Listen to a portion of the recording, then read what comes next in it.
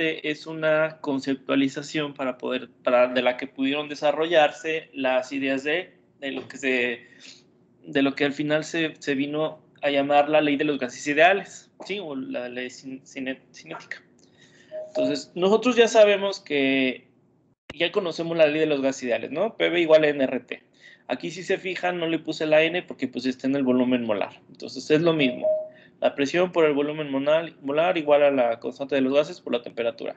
Ahora, los gases reales son todos los que nos cumplen con estas este, condiciones o suposiciones, ¿no? ¿Por qué? Porque para empezar, los gases reales, o sea, los de la vida real, son una colección de partículas, sí, pero las partículas tienen un volumen y tienen una estructura definida. No, no, no, no son este, objetos matemáticos abstractos, no son partículas de la vida real. Entonces, que además puede que interaccionen entre ellas. Entonces, no podemos ya despreciar su volumen ni las interacciones que hay entre ellas. Y además, la mayoría no son esféricas. ¿Por qué no son esféricas?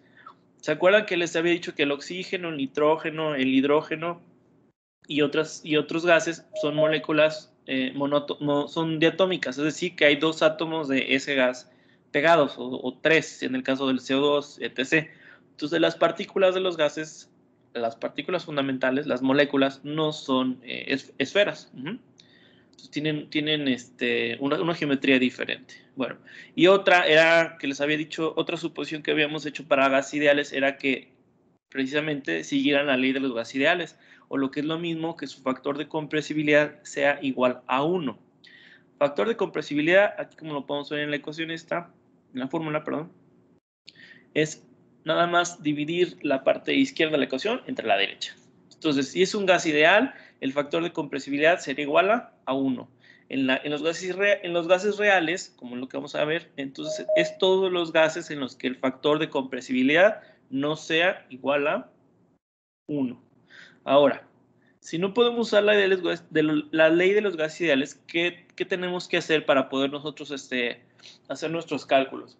Bueno, vamos a usar, las ecuaciones de estado. Ahora, entre ecuaciones de estado hay infinidad de modelos y diferentes este, aproximaciones que se han hecho para poder precisamente describir el comportamiento de un gas real. ¿Okay? Entre las ecuaciones de estado están las ecuaciones viriales. Ahorita vamos a ver qué son o qué forma tienen. Entonces, esas se basan exclusivamente en la teoría mecánica estadística para predecir los coeficientes de la, de la ecuación y poder describir esos tipos de sistemas. Tenemos las empíricas, que simplemente son ajustes de datos experimentales. Ustedes tienen un sistema, miden los datos y tratan de hacer un ajuste matemático estadístico para sacar una ecuación de estado que describa ese sistema. Tenemos las ecuaciones de estado cúbicas, que son las más famosas y a veces más socorridas, que ahorita vamos a ver cuáles son. Entre las más conocidas está la de Van der Waals, que seguramente ya, ya habrán escuchado. Y son básicamente, pretenden hacer una corrección a la ley de los ideales para tomar en cuenta precisamente este tipo de, estas suposiciones que ya no son válidas, como la del volumen y las interacciones. Y por último tenemos las generalizadas. Las generalizadas son igual, pretenden, pretenden hacer una corrección, una generalización de la ley de los gases ideales para que pueda ser aplicada a diferentes eh, sistemas. ¿Ok? Ahora, ¿para qué nos sirven estas cosas? Bueno, para diseñar y optimizar procesos.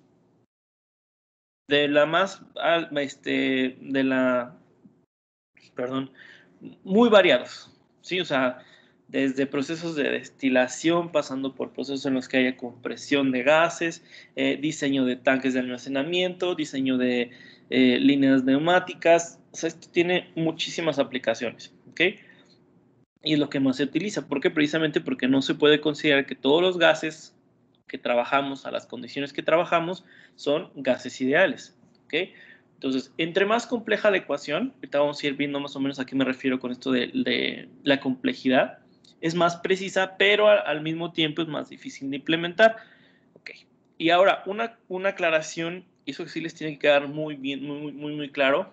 Tienen que tener en su cabeza siempre lo tienen que tener muy presente, es que todas las ecuaciones de estado están mal, todas. Ahorita vamos a ver precisamente cuándo vamos a usar cuál, porque no todas se pueden usar siempre, ni para todo, ni para las mismas cosas. Entonces, dependiendo del caso, de lo que estemos analizando, hay unas que están más cerradas que otras. ¿Ok? Entonces vamos a empezar a ver las ecuaciones de estado cúbicas. Estas son las más conocidas, las más usadas en ingeniería. Y bueno, la primera es la de Van der Waals. Van der Waals. Y vemos que además de la... Ahí está. Vamos a tomar como referencia la ley de los gases ideales. ¿Qué le vende diferente? Pues que aquí en la P tiene otra cosa, tiene una corrección, digamos, y en la B también tiene una corrección.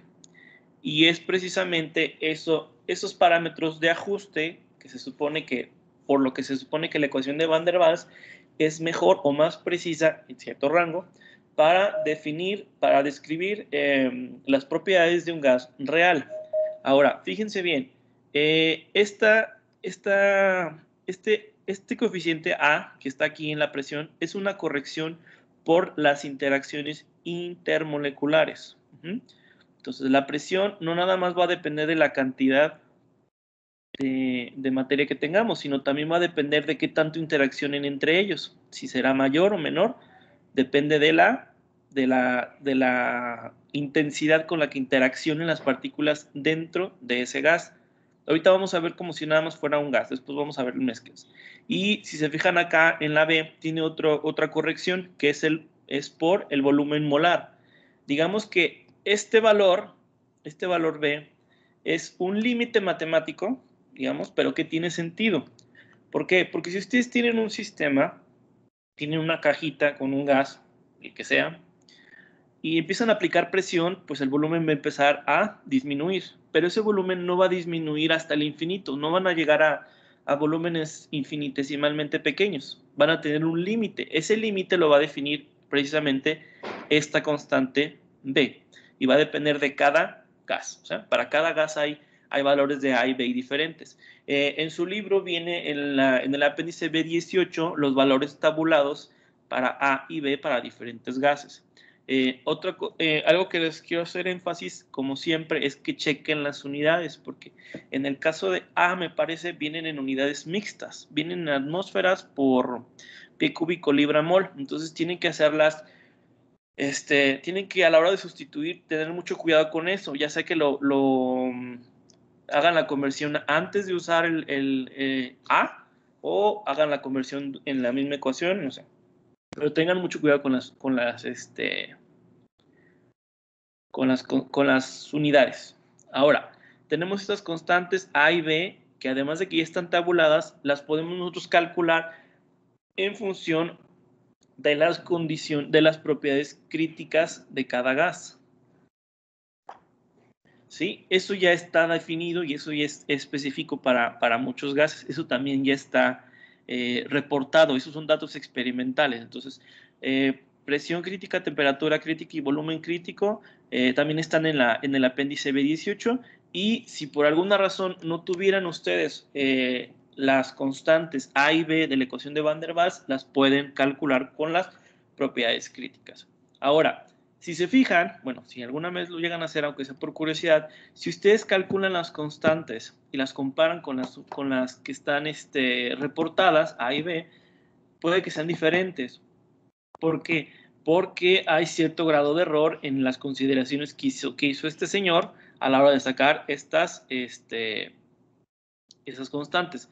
Entonces, eh, puede que difieran las calculadas y las reportadas, precisamente por eso. Y si tienen las dos opciones, tienen reportadas y tienen calculadas, es preferible usar las reportadas, porque esas probablemente ya estén corregidas. ¿Sí? O sea, se calculan, se es un proceso iterativo y se siguen ajustando la ecuación para tener un valor corregido, digamos. Entonces, si tienen la, opción, sea de calcular las constantes o usar las reportadas, mejor usen las reportadas. En este caso, las del apéndice B18. ¿Ok? Bueno, entonces, la de Redlich-Kwong si se fijan, es exactamente la misma forma. Lo que estamos haciendo es una corrección por volumen y una corrección por interacciones. La, eh, cada uno de los investigadores o grupos de investigación lo que hacen es ellos proponer una nueva forma en la que este factor va a modificar la presión. Entonces, se supone que esa es la aportación, digamos, de, de cada uno de los, mm, de, de, cada una de las ecuaciones de estado diferentes, ¿no? Y algunas sirven para ciertas cosas, algunas para otras. Pero si se fijan, aquí también tenemos las eh, fórmulas para calcular los, los, parámetros A y B para la ecuación de Redlich-Kwong.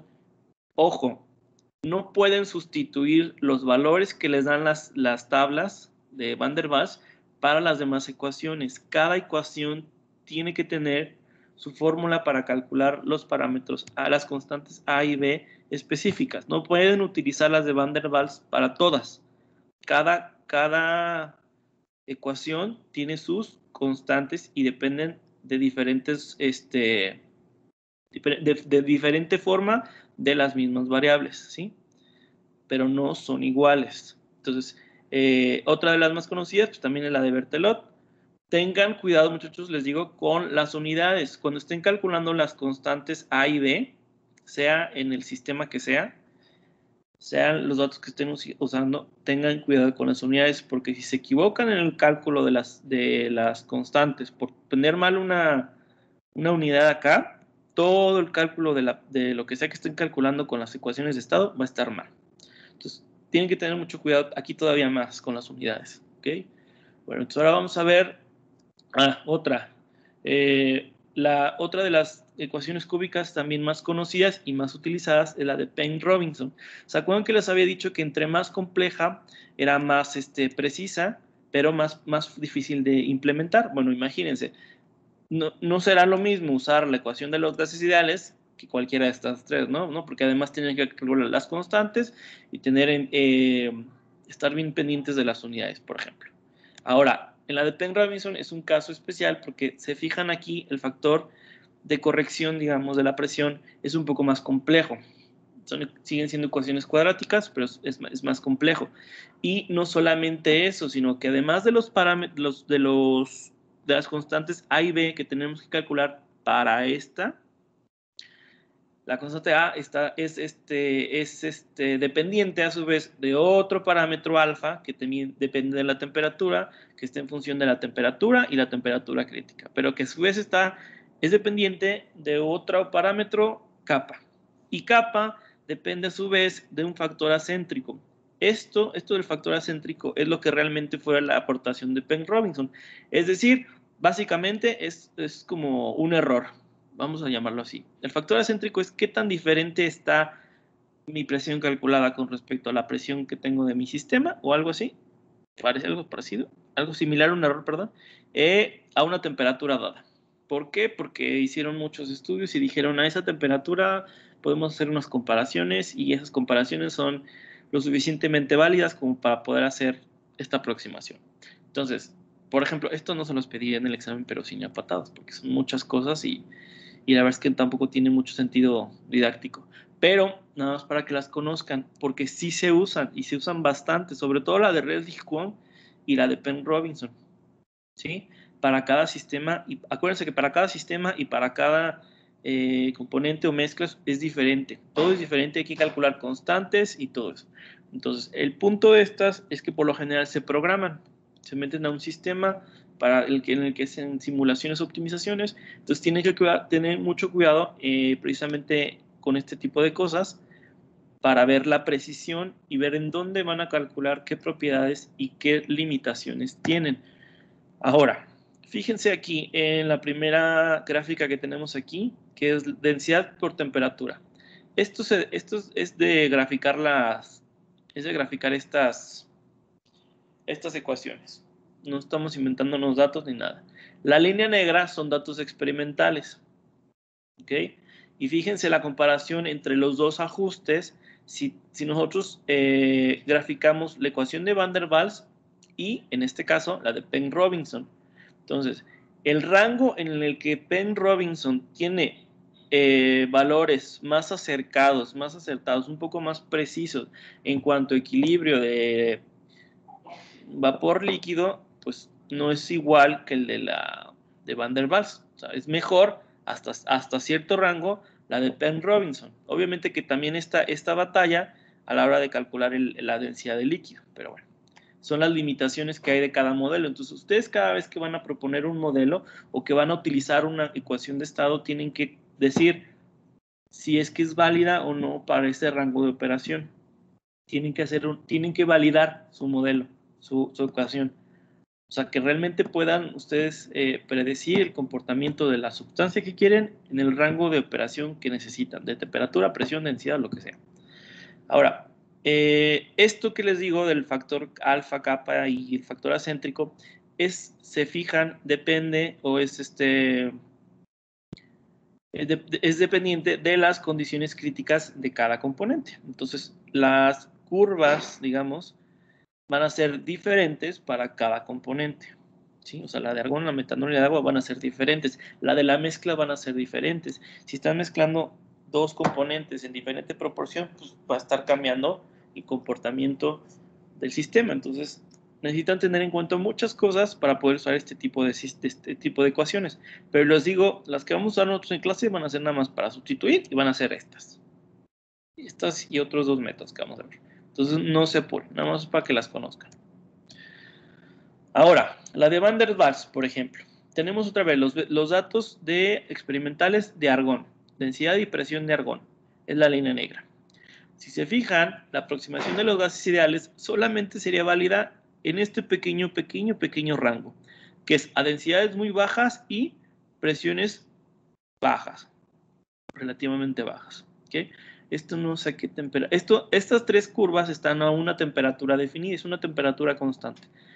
Entonces, ahora, fíjense en la de Van der Waals, el rango en el que se pueden predecir la, densidad, la presión, perdón, el cambio de presión con respecto a la cantidad de, masa que tienen en, un, en, un, en argón, para argón, tiene un rango mucho más amplio, ¿sí? Entonces, eh, tentativamente pudieran utilizar la ecuación de Van der Waals para predecir las propiedades de argón hasta más o menos 6 megapascales y una densidad de 12, 12 kilomoles por metro cúbico. O sea, esa sería la, restricción, digamos, la, el límite de, ese modelo para ese sistema. Si estuviéramos nada más trabajando con argón, sabemos que podemos trabajar con la ecuación de Van der Waals hasta, hasta, hasta estas condiciones, no más. Ahora, si nosotros graficamos este, las isotermas, estas seguramente ya las habrán visto, estos son los de los gases ideales, que es nada más graficar presión y volumen. Esas las vieron en termo, ¿no? O en máquinas térmicas también. Cuando vienen los, ciclos. ¿Sí o no? Termo, creo. Sí, sí bueno, no se espanten. Eh, esta es nada más graficar la, ecuación de, gas ideales. O sea, ustedes definen una, temperatura, esa es, cada una de las líneas es una isoterma, definen una temperatura y grafican eh, presión con respecto al volumen. Y ya. O sea, no, tampoco tiene complicación. Ahora, si hacen lo mismo, pero para la de Van der Waals, pues obviamente que les va a salir muy diferente, si, se dan cuenta, o sea, es totalmente, es la misma escala, estamos en la misma escala, pero el comportamiento es totalmente diferente. ¿Ok? Ahora, ¿qué es lo importante de esto? Estas son las isotermas, isotermas de Van der Waals. Hay una en específico que es de donde se, es, por definición de donde se sacan las fórmulas para las constantes, que es la isoterma crítica. Ahora, la isoterma crítica no es más que la isoterma que, corresponde a la temperatura crítica, que en este caso sería la curva C. ¿sí? Esta curva, a partir de, de este momento, tiene un punto de inflexión. Y ese punto de inflexión tiene que cumplir con ciertas propiedades características, digo, ciertas características matemáticas que nos permiten eh, después eh, derivar estas, estas ecuaciones. ¿sí? De hecho, todas estas ecuaciones de A y B se, se, se, sacan así. Se saca la derivada en el punto crítico de todas las ecuaciones para poder obtener este tipo de ecuaciones, fórmulas. Entonces, esta, esta esta forma que tienen estas es, porque es una ecuación cúbica. Ahora, ¿qué propiedades extrañas tienen estas cosas? Bueno. Eh, estas eh, inflexiones, estos puntos de inflexión en las curvas, delimitan una zona especial. Esta zona es la de equilibrio líquido-vapor, líquido-vapor de argón. ¿sí? no es una mezcla, olvídense de agua, no, aquí estamos hablando de un gas, argón. ¿Por qué? Porque el argón a, cierta temperatura y presión, obviamente que también va a estar en, el líquido. Entonces, esta, esta región que se forma aquí en las isotermas de Van der Waals es la región de equilibrio líquido-vapor. Ahora, la presión no varía en esta región como lo dicen las gráficas, como lo dicen las curvas.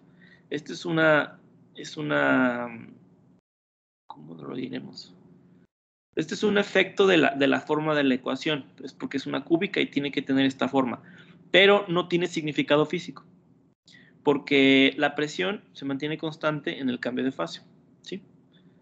Entonces aquí, aquí las, las líneas de presión quedarían así, serían entonces, se fijan, eh, dadas las circunstancias y bajo muchas restricciones, se puede considerar hasta cierto punto, ya dijimos más o menos de qué tanta presión y qué, densidad, se puede llegar a considerar que un gas que está por encima de su temperatura crítica se puede considerar como un gas ideal. El punto crítico, no sé si se acuerdan de termodinámica, es básicamente el punto en el que la densidad del líquido y la densidad del gas es la misma. Esa es la definición del punto crítico. este punto que está aquí en, las, isotermas representa eso. La densidad del, vapor y la densidad del líquido son iguales en este punto. Por encima de ese punto y, fuera de, esta, zona, la ecuación de Van der Waals eh, funciona bastante bien. Entonces, a partir de, por ejemplo, si tuvieran argón a, perdón, a temperatura atmosférica, o sea, 25 grados, se puede llegar a considerar hasta cierto punto como un gas ideal, porque está por muy encima de su temperatura crítica, ¿sí? Entonces, hay algunas sustancias, como los gases em, inertes, que se pueden considerar como gases ideales a partir, digo, después de si están a, una temperatura mayor a su temperatura crítica. Ahora, ¿por qué se llaman cúbicas? Bueno, pues si lo reacomodan, ustedes pueden ver que la ecuación queda eh, en cuba, digo cuba, queda de forma cúbica en función de la, del volumen, por eso se llaman ecuaciones cúbicas. Esta forma la pueden tener todas estas. Para llegar es matemáticas y álgebra, pero se puede. Se pueden expresar de forma cúbica como esta. Y además también se pueden expresar de la forma virial. Esta es la forma de una ecuación virial. Tienen eh, constantes, las constantes viriales, que están en función del volumen en diferentes potencias. Es como una serie de Taylor. Entonces, este, cada una de las constantes tiene un valor definido y en teoría representa una cosa específica.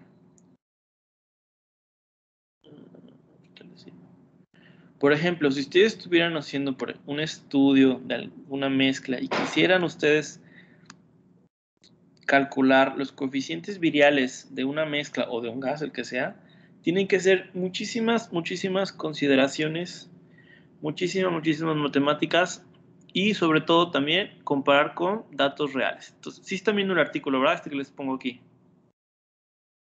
Entonces, esto es lo que tendrían que hacer si quisieran calcular o si quisieran ajustar, digamos, las constantes de una ecuación virial. Es un trabajo bastante extenso, bastante, bastante riguroso. No nada más es calcular, tienen que comparar, tienen que validar su modelo, tienen que este, ver si lo que están diciendo tiene sentido.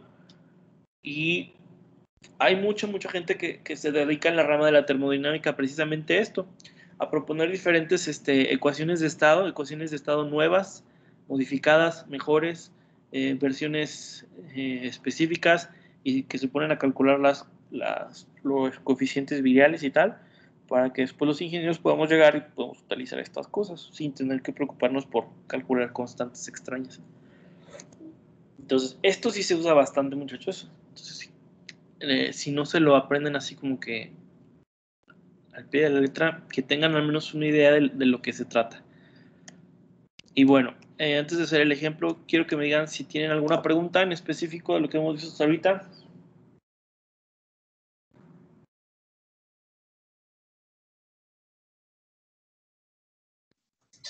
Ah, no, profe. Ah, profe, no. Con demasiada información, ¿verdad?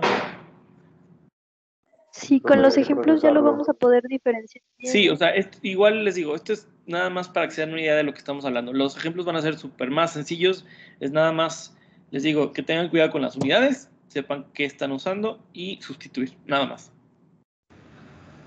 Ok, Entonces, profe. el primer Ok, ejemplo, ok, que gracias. es el 10.7, dice, calcular la presión de un cilindro de 12 pies cúbicos que contiene 150 libras de CO2 a 140 grados Fahrenheit. Entonces, vamos a empezar con las dos más sencillas. La ecuación de los gases ideales y la de Van der Waals. Después vamos a ir agregando todos los demás para que vean la diferencia entre cada uno. Entonces, ¿por qué sería importante hacer esto? Imagínense que ustedes les digan, oiga, ingeniero, le vamos a meter 150 libras de, de CO2 a este tanque. ¿Si aguanta o no aguanta? Entonces ustedes se van a su tabla de especificaciones y dicen, ah, pues este tanque de, esta, de estas dimensiones, con esta, de este material, bla, bla, bla, bla, bla, tipo de soldadura, X, no sé, les van a decir, eh, aguanta una presión máxima de 1300, 1300 P6. Entonces, la pregunta es, ¿aguantará las 150 libras? Sí o no. Entonces, lo primero que podrían hacer es calcular la presión que va a tener, que van a tener los 150 libras de CO2 a esa temperatura y en ese volumen y ver si, si realmente se puede, si va a aguantar el tanque, digamos. Entonces, tienen la ecuación de los gases ideales, NRT, o si la quieren usar en masa, como lo que tenemos aquí, eh, tienen que usar la constante específica del gas, que es nada más dividir la constante entre el peso molecular. Esto lo pueden hacer aquí o lo pueden usar en moles y en lugar de ponerle aquí la masa, pueden pasar los 150 libras a moles. También es lo mismo, no hay problema. El punto es que chequen las unidades. Si ponen aquí masa, aquí tiene que estar en unidades de masa. Si ponen aquí los moles, aquí tiene que estar en moles. Entonces tenemos la constante específica del gas, eh, tenemos la temperatura y tenemos el volumen. Ahora, fíjense, ¿se acuerdan? Creo que esto sí se los había dicho. El problema con el libro también a veces que hace como muchas... Eh, se salta pasos. Entonces, por ejemplo, cuando tienen la, la, la constante, no, se la, no, no, la ponen como libras sobre pie cuadrado por pie cúbico. Ponen nada más libras por pie. Es por esto porque la tienen en libras por pie cuadrado y, eliminan, eliminan dos de acá. Pero para que no detallen y no se vayan a confundir, úsenlo así, presión, volumen, temperatura, masa. Presión, volumen, temperatura, masa.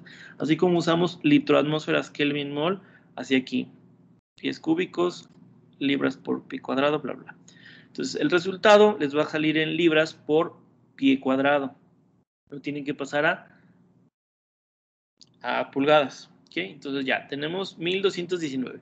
Entonces, el punto de esto es, según la ley de los gases ideales, si el máximo de, si nuestro tanque alcanza, perdón, aguanta máximo 1300 PSI, pues no le va a pasar nada, ¿no? Está bien, está como sobrado. El problema es que el CO2 pues no es un gas ideal, ¿verdad? Entonces, nos vamos a nuestros apéndices y tenemos, ay, aquí me equivoqué. Qué bueno que me equivoqué. Bueno, entonces aquí ustedes me van a decir cuál es el error. Saco de mi, apéndice mis constantes A y B para, para calcular eh, la presión de ese sistema. Igual, el volumen molar lo pueden calcular aquí, lo pueden dejar acá indicado, es lo mismo. Entonces tenemos el volumen, conocemos el número de moles, tenemos el volumen molar. Ah, eso sí hay que tener en cuenta, muchachos. Eh, las ecuaciones se las pueden encontrar como volumen molar o como volumen entre número de moles. Es exactamente lo mismo. ¿Sí? Nada más que tengan cuidado a la hora de sustituir. Si ustedes calculan el volumen molar, no lo vayan a poner aquí y volverlo a dividir entre el número de moles. O sea, nada más tengan cuidado con eso. Porque también depende de la fuente en donde, donde vean las ecuaciones, puede variar, pueden venir diferentes. Entonces, acá tenemos... Eh, RT, no le vamos a cambiar nada porque estamos trabajando con volumen molar. Tenemos el volumen molar, tenemos la corrección por el volumen, que es la constante B. Tenemos la temperatura, tenemos R, tenemos A y tenemos esto. Díganme en dónde está el error.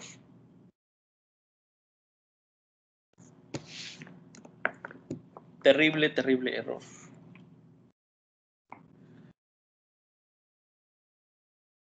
¿En qué me equivoqué yo ahí? ¿Qué me faltó hacer? ¿O qué, o qué está mal ahí?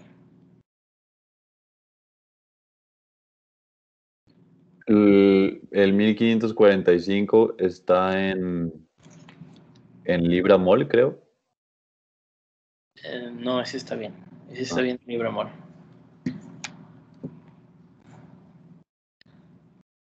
Chequen bien las unidades de todo lo que estamos haciendo. Dijimos que todo esto nos va, ¿Esto en qué unidades va a quedar? Tienen ranking, se elimina con ranking. Tienen, este, tienen pies cúbicos por libra mol, se elimina con esto. Entonces, aquí el término este me va a quedar una presión. ¿En qué unidades?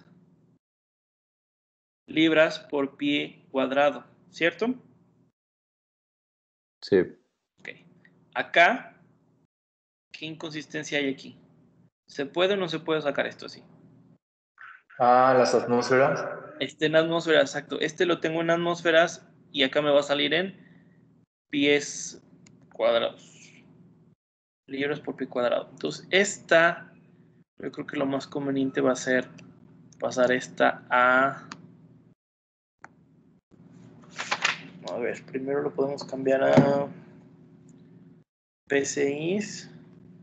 Entonces quedarían 926 por 14.696 quedarían 13.608 pero esos son PCIs y luego tendría que dividirlo entre 144 a ver, chequenmelo, no voy diciendo que estoy haciendo yo también barbaridades. Entonces, según yo esto quedaría igual a 94 94.5. Ah, no es cierto porque está al cuadrado. Oh, qué rollo. Ah, no, eso no importa. No, está bien. Entonces aquí, en lugar de esto.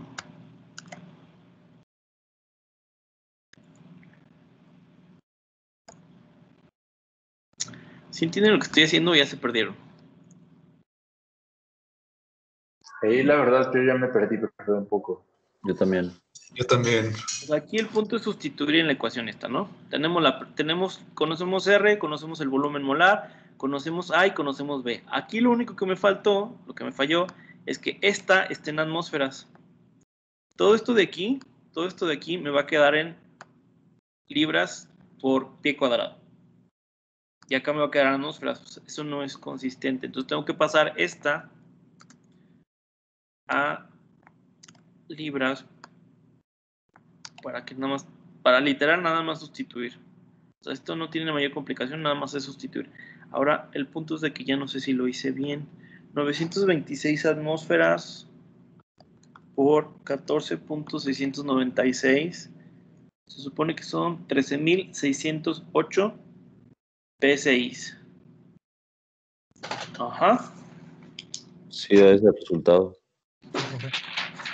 Si lo saqué bien. 13.608.50 P6. O sea, libras por pulgada cuadrada. Pero lo quiero cambiar a pie. Y esos son 144. Ah, son un chingo.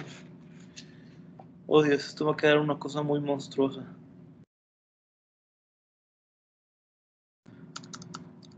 Sí. Bueno, a ver. Son mis PCIs. Ajá.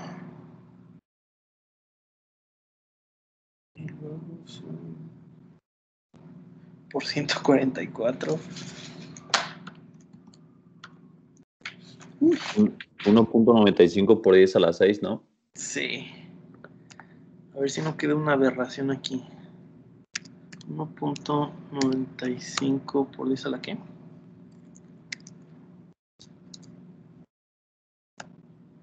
Por eso las 6, ¿verdad?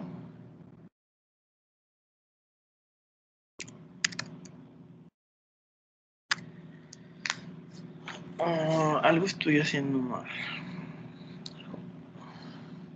Eso lo tendremos aquí.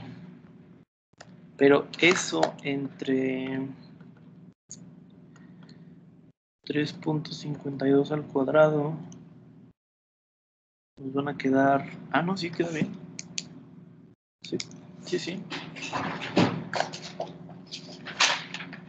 Es cierto.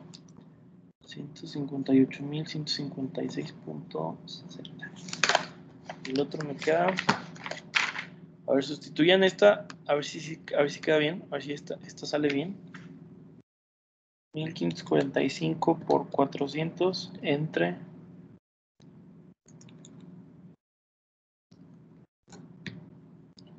3.52 menos 0.686.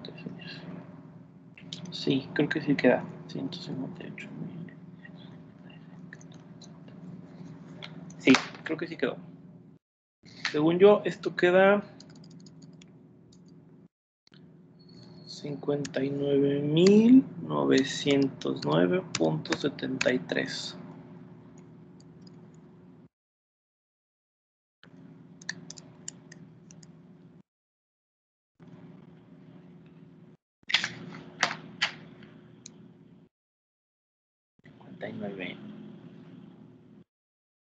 A ver, chequenlo porque me sale aquí una babosada y no sé si está bien.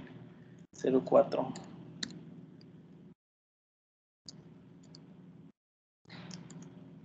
¿416 PCI?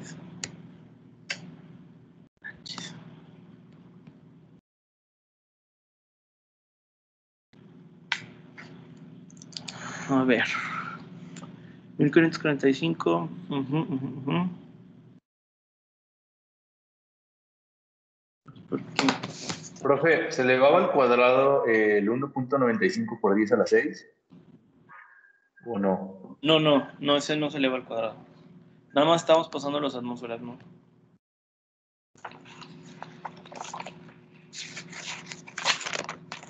No, no, esa no. ¿Qué estoy haciendo? Por libra, sí, está bien esa. 1545, ajá.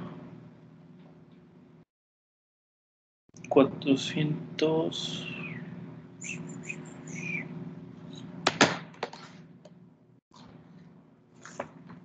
Ay, a ver, pues según yo sí, pero.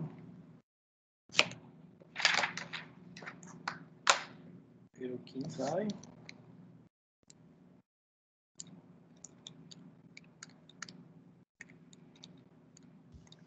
Profe, también le falta cambiar el 926, ¿no? Sí, o sea, este número va acá.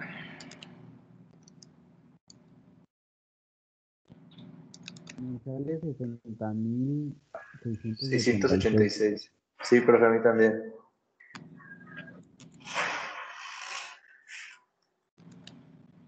Entonces. A ver, espérenme. ¿Este cuánto sale? Seguro. 60.686.4. Ah, ok. 60.686.4. Ajá. Entre 144.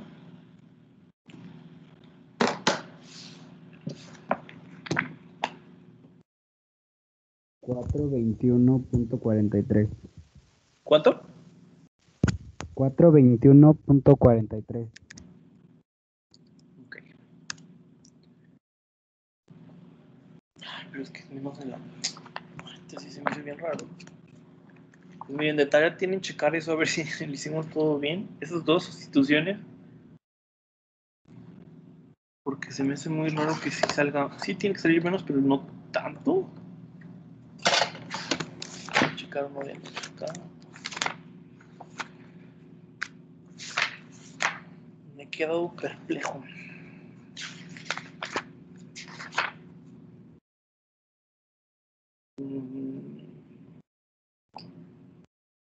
Profe, la temperatura no deberían de ser 600 grados ranking. 600, ¿cuánto puse yo? 400. Sí, porque supone que son 140 más 460, ¿no? Sí, son 600. Ay, entonces esa no sé también si este viene con. A ver, 150 por 35.11 por 600 entre 12. Oh, este también está mal. 263, 325. Y acá serían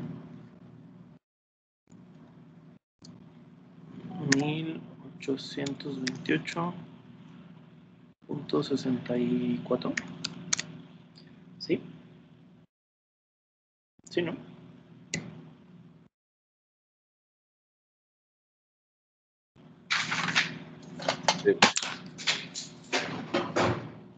Rayos.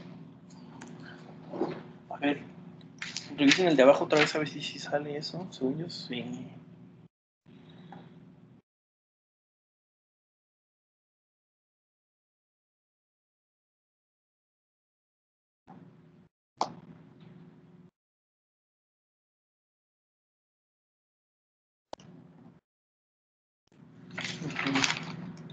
Pues sí, eso. A menos. Menos.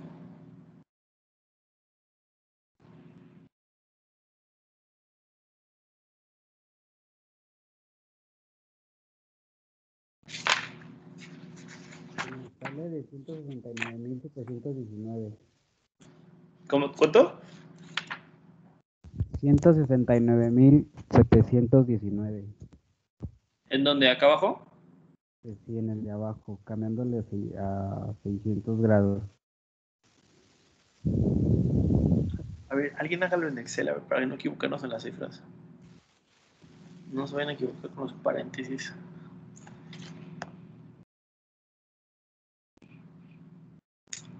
Se me hace que Yo lo estoy intentando en Excel, pero no me salió.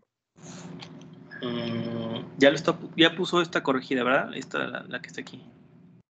Sí, pero mm, creo que me equivoqué en un paréntesis. A ver, déjenme, déjenme checar porque no sé qué hice.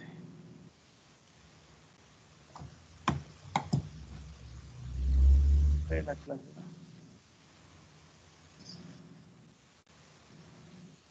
A ver. Son 920. ¿Qué dijimos? 926. Ajá. A mí también en pulgadas ya, profe, me da de que 1178. El del de abajo. Ajá, Sí, tiene más sentido. sí. Y a mí me da igual, pero con 1178. ¿Punto qué? 60. Punto 60, sí, a mí también.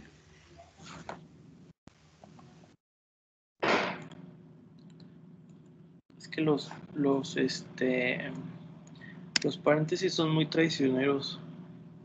Y las unidades, 718. Profe, ¿sigue compartiendo pantalla? No, no la quité Ah. porque estoy, estoy intentando hacer el cálculo en Excel. Ah, bueno. A ver si sí me da la.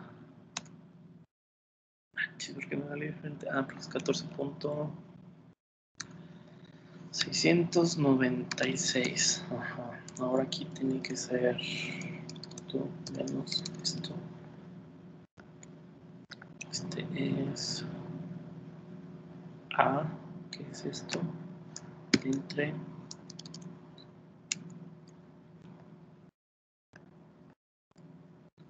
tres punto cincuenta y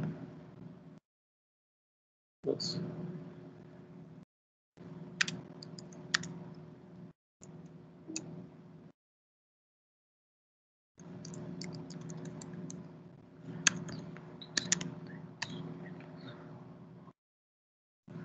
A ver, ¿alguien más que le haya salido lo mismo?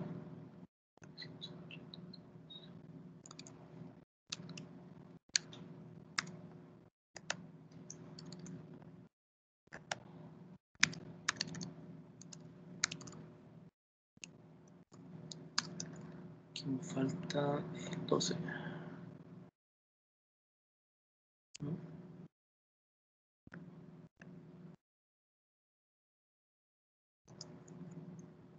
Sí, 1600, no, 16, no, 168 mil, 900 y algo, ajá. No, sí, se me hace que está, ya está bien esa. Entre 124. Sí, 1173. Está bien. Tiene sentido, tiene más sentido. Entonces, ven, por eso les digo que tengan cuidado con las unidades. Y si lo van a poner en la calculadora o en Excel, con los paréntesis. Pero no tiene mayor complicación, o sea, es, ¿qué queremos? Calcular la presión de CO2. Ah, muy bien, CO2. Nos vamos a la, al apéndice, sacamos A y B. Tenemos, hacer las conversiones que tengamos que hacer. Aquí yo calculé el volumen ya nada más para meter un número acá, sustituir y listo. No tiene mayor seguimos sin ver su pantalla. Ah, es cierto. Perdón. Sí, entonces como les digo, no tiene mayor complicación. Al menos lo que vamos a estar viendo esta semana no. Nada más que eh, sepan usar las, las fórmulas, nada más. Sacar los, los, las constantes de la tabla o calcularlas si no, si no están disponibles. Hacer las conversiones que tengan que hacer y sustituir. Tengan cuidado con las unidades y los paréntesis, nada más. De ahí en fuera, creo que esto no tiene mayor complicación. hasta aquí preguntas, al menos de lo que hicimos ahorita en el ejemplo.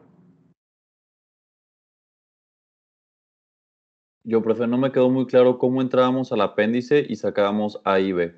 O sea, con qué dato o cómo. Mm, nada más necesita la sustancia. O sea, en el apéndice es una tabla que viene la sustancia y viene. Eh, ¿Qué dije? ¿Apéndice 8? Dice sustancia y viene temperatura crítica, presión crítica, volumen, bla, bla, bla. Las que ustedes, las que vamos a necesitar ahorita son las de las constantes de Van der Waals, que son las últimas dos columnas. Nada más. Ok, perfecto. Vale.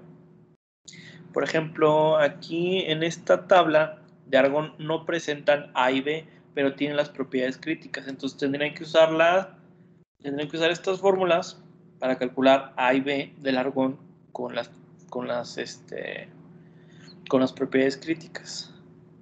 Por ejemplo, del neón tampoco vienen, esas tienen que calcularlas. Pero todas las demás todas las demás vienen aquí. Bueno, de las que vamos a estar usando. ¿Vale?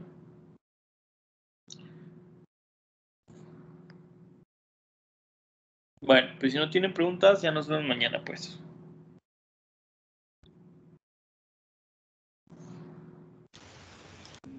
Gracias, profe. Ok, Gracias, profe.